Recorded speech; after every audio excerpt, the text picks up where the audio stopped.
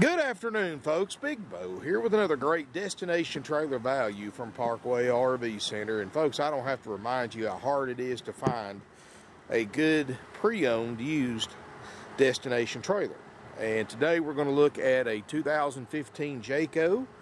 It's the model number 40 BHTS. It's the DST model, which is abbreviation for destination. Um, 41 feet long, 9,900, might as well say 10,000 pounds is what it weighs right now. Nationwide deliveries available. Uh, kind of interesting how we got this one, folks. Um, this came out of East Tennessee, out of the Smoky Mountains, Gatlinburg, uh, Pigeon Forge area. Guy bought this thing brand new. Had it special ordered it brand new with a lot of extra features uh, because he was going to keep it in the mountains. He had the extra insulation, the thermopane windows, and all that stuff added to it. Second air conditioner. Used it up there on a um, one of the numerous permanent campgrounds up there where you rent the spots by the month and used it he said probably about a dozen times in the last three years.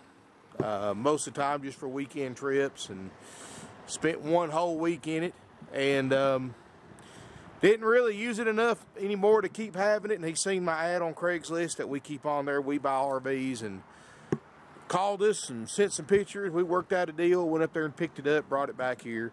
The reason I'm telling you all this, because A, you know it hasn't been a live-in unit, so it's not worn out, even though it is a 15. You live in one of these full-time for three years, you're going to wear it out. And B, it's been a Tennessee trailer its whole life, so it's not nothing up north, rust, and all that other stuff. It's been towed to the campground from the dealer he bought it from, and when it was new, and then we picked it up. It's about two and a half hours from here. We picked it up and brought it back here. That's the only time this trailer's been towed besides, of course, when it came from the factory to the original uh, selling dealer. Uh, he spent right at $50,000 new as equipped. Uh, I'm going to go over some of the options that work standard and, of course, show you the standard options too. Now, it's dirty, folks. I just got it in. Haven't washed it yet. It's going to look a lot better after it's cleaned up. But the unit shows very, very little use on the inside. It's 41 feet long. All three slide outs, it's got three slide outs, are on one side, which is really nice, especially if you're going to set it up permanently somewhere. You don't have to get as wide of a campsite. And it's a good, deep 36 inch slides. Of course, Jayco, at the time this unit was built, was the largest privately owned manufacturer of RVs um, in the RV industry. Now they're owned by Thor. 80% of their workforce were, either Amish or Mennonites, and the Jayco Jay Flight has been the best selling travel trailer series for the last 12 to 13 years or so. So, uh, in fact, Jayco, if I'm not mistaken, is the number one manufacturer of towable RVs. And this is the big boy. It's 41 feet long, like I said, right at 10,000 pounds. You know, we do offer nationwide delivery, free local delivery. And um, it's going to save you some money, folks. And it's going to clean up, shine like a new penny. Got 30 pound propane tanks on the front. It's 50 amp service. He paid extra. Got the uh, the the second air conditioner added to it because you know I half grew up in the mountains and and it's a little different here. Um, you know, in the wintertime, it gets ice cold up in the mountains, just like it would in Michigan or places like that. But in the summertime, you know, it gets into the 90s. So definitely um, different. But see, he did have that second air conditioner. He spent almost $3,000 uh, extra when he bought it new, had a washer and dryer installed. Got the big water heater. You can underpin this. Um, you know, if you're going to keep it in really cold climate, he hasn't. He never did underpin it, and he never had a frozen line in the last three years that he's had it. So definitely a well-insulated model. You know, these are better insulated than a standard travel trailer. They got a higher interior roof height and a bunch of other features that normal travel trailers don't have. In fact, the destination trailer, for those of you who are looking for this for uh, housing, a regular travel trailer, believe it or not, is not designed to be used for permanent residence. This is what they call a long-term or seasonal camper. It is designed for long-term use or for a live-in unit. It does. He also paid extra. Got the upgrade power awning. It's got uh, the first entry door up here into the front bedroom, and your sliding glass door, which is perfect for a deck if you want to build a deck on the side of it. Got outside speakers, thermopane windows, much more. Let's look inside. And it's got some really cool features. He pretty much got every option you can add to it when it was new. Um, you step inside, of course, HD TV. Got the optional fireplace, and I've studied the brochure, so when I say optional, folks, that means he paid extra for these items.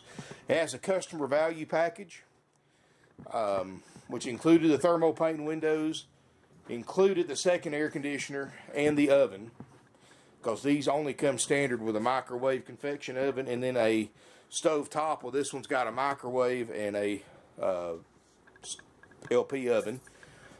Another feature about this, a lot of people don't realize, is that the RV refrigerators, the two-way that run off gas and electric, they're not designed to be used every day. This, of course, is an 18 cubic foot all electric refrigerator freezer.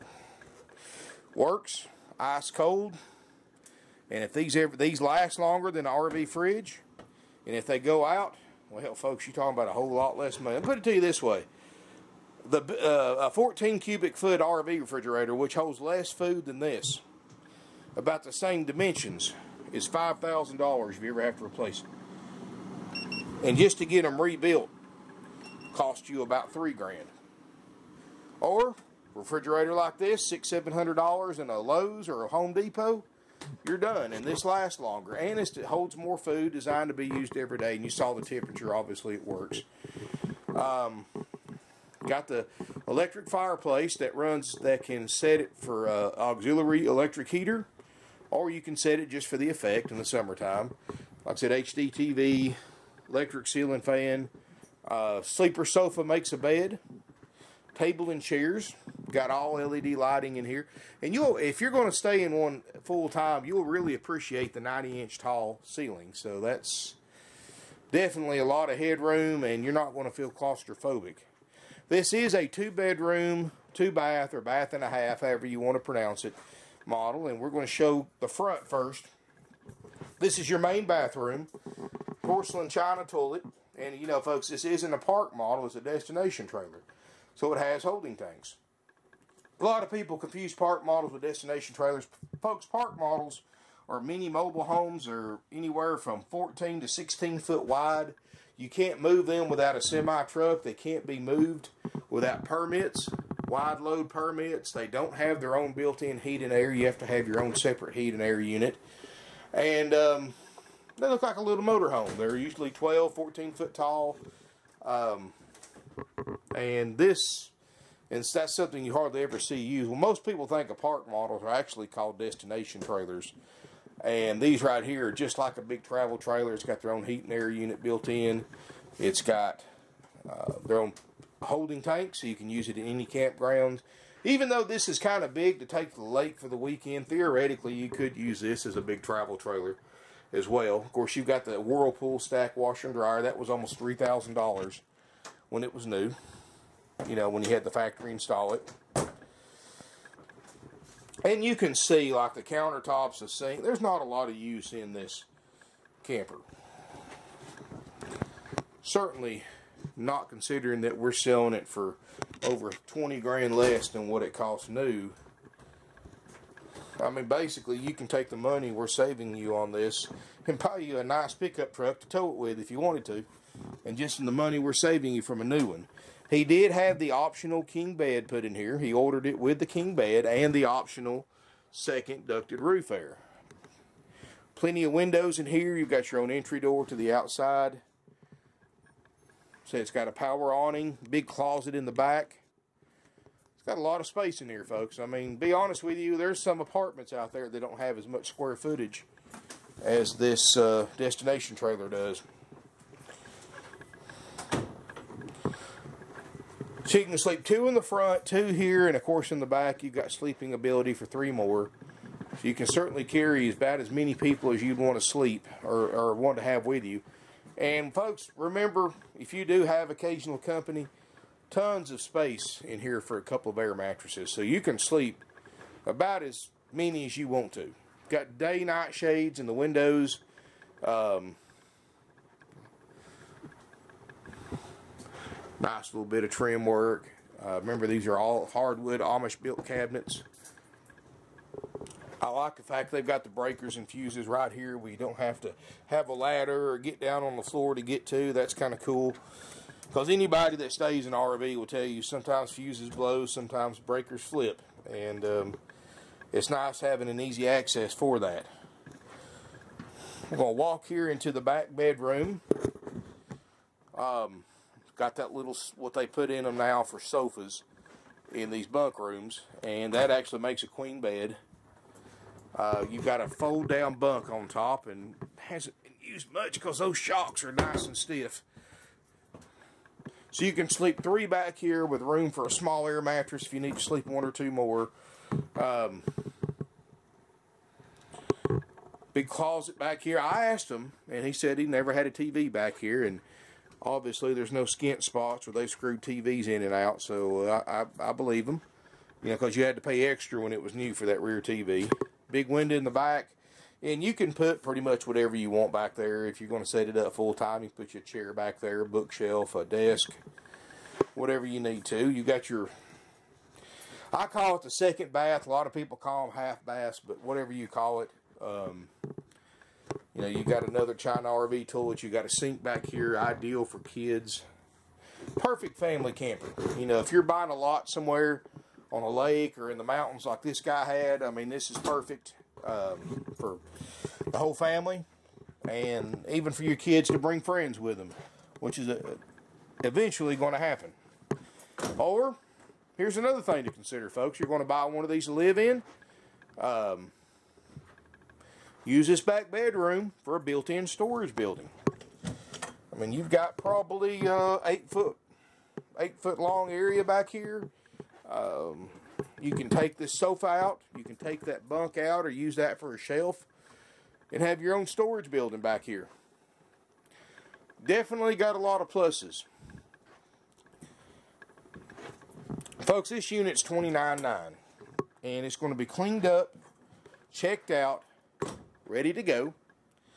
Um, it's going to include at that $29.9 haggle-free option A price. It's going to include a 90-day nationwide limited warranty. It's going to include a major systems inspection, which I have no doubt uh, this thing's going to pass with flying colors. But we're going to go through a major extensive checkout on this camper, make sure everything